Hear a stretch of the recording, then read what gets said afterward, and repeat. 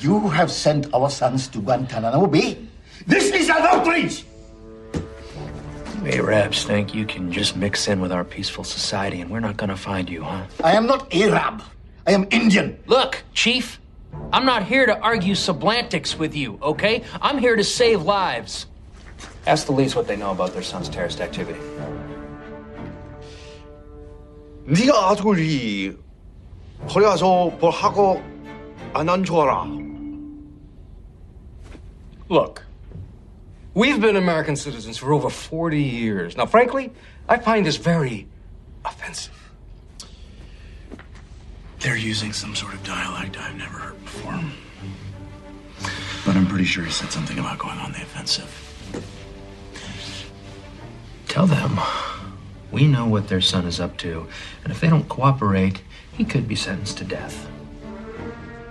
Hit him. Anne aduri. Or Hyunji. We know what he said. Sir, Harold and Kumar are good boys.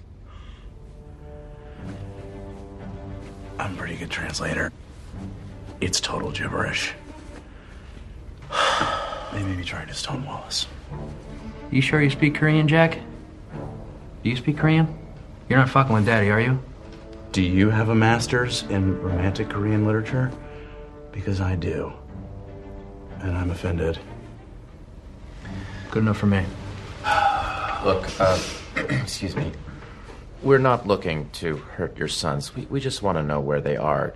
Do you know if they know anybody in Florida? Their friend, Raza Syed, lives in Miami. But why would they be there? He's supposed to be in medical school. They are supposed to be in prison. That is where terrorists belong.